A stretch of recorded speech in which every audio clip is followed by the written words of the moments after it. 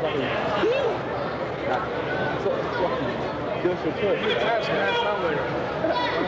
Nah.